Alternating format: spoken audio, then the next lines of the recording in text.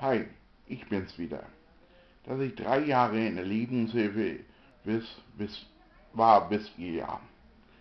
Ähm, Nochmal zum Thema Psychologen mit Treuer.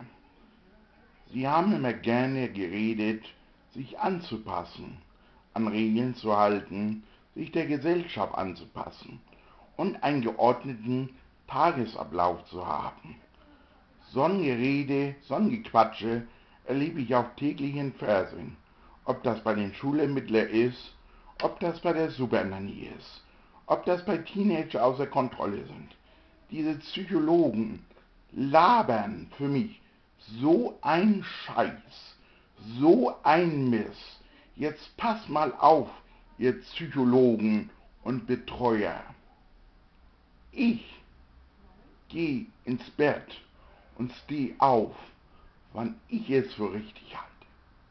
Ich trinke was und wie viel ich will, wie ich es für richtig halte.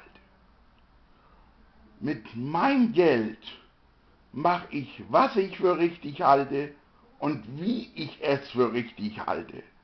Und ob ich nach Hannover zum Eisessen fahre oder ins Vierjahresseiten zum Kaffeetrinken fahre, das geht euch Psycholeuten ein Scheißdreck an. Ich passe mich nicht euren Regeln an, ich passe mich nicht der Gesellschaft an. Ich bin ich. Und sowieso, dieses Gequatsche, euer Psychoniveau, also die meisten Psycholeute, die meisten Betreuer waren sowieso in meinen Augen einfach nur dumm. Und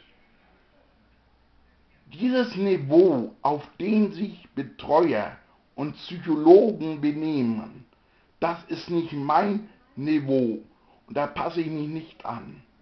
Wenn ich mich einen Tag an eure Gesellschaft angepasst habe und an euren Regeln angepasst habe, dann will ich nicht mehr leben. Dann schmeiße ich mich vom Zug oder so.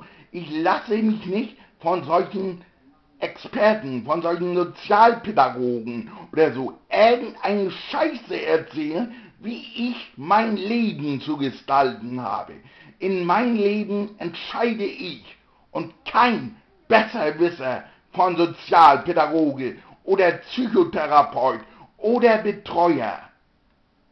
Das soll man sich mal einfach alle mal merken und auf euren Regeln, auf euren Anpassen, auf eure Gesellschaft, die scheiße ich drauf.